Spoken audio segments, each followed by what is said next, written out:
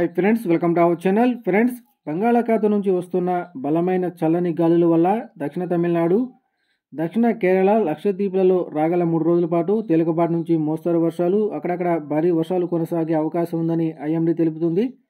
ఇక పూర్తి వివరాలు తెలుసుకునే ముందుగా మా వీడియోని ఇంకా లైక్ చేయకపోతే లైక్ చేయండి. మీరు ఇచ్చే లైక్ నాకు ఎంతో సపోర్టింగ్ ఎంకరేజింగ్గా ఉంటుంది. అదేవిధంగా మా ఛానల్ని సబ్స్క్రైబ్ చేసుకొని పక్కనే వచ్చే బెల్ ఐకాన్ ట్యాప్ చేసి ఆ పక్కనే వచ్చే ఆల్ అనే ఆప్షన్ యాక్టివేట్ చేసుకోండి. ఈ విధంగా చేయడం ద్వారా మేము చేసే ప్రతి వీడియో కూడా మీకు నోటిఫికేషన్ ద్వారా వస్తుంది. ఇక వివరాల్లోకి వెళ్ళినట్లయితే శ్రీలంకకు ఎడమ వైపున మాల్దీవుల దగ్గర అరేబియా సముద్రంపై తుపాను తరహా వాతావరణం యాక్టివ్గా ఉంది. దీనివల్ల ఓ అల్పపీడనం ఏర్పడిందని ఐఎండీ తెలిపింది. ఇది పశ్చిమ వాయు దిశగా కదిలే అవకాశం ఉందని తెలియజేస్తూ ఉంది. ఆ తర్వాత ఇది వాయుగుండంగా మారుతుంది లేది లేనిది అనేది తెలుస్తుంది. ప్రస్తుతం దీని ప్రభావం భారత్పై ఎక్కువగా కనిపించట్లేదని కూడా వాతావరణ శాఖ తెలియజేస్తుంది. ఇదిలా ఉంటే బంగాళాఖాతం నుంచి వస్తున్న బలమైన చల్లని గాలుల వల్ల దక్షిణ తమిళనాడు దక్షిణ కేరళలో అలాగే లక్షద్వీప్లలో రాగల మూడు రోజుల పాటు తేలికపాటి నుంచి మోస్తరు వర్షాలు అక్కడక్కడ భారీ వర్షాలకు అవకాశం ఉందని ఐఎండీ తెలుపుతుంది. ప్రస్తుతానికి మాల్దీవులలో మోస్తరు వర్షాలు కురుస్తున్నాయని కూడా తెలియజేస్తుంది.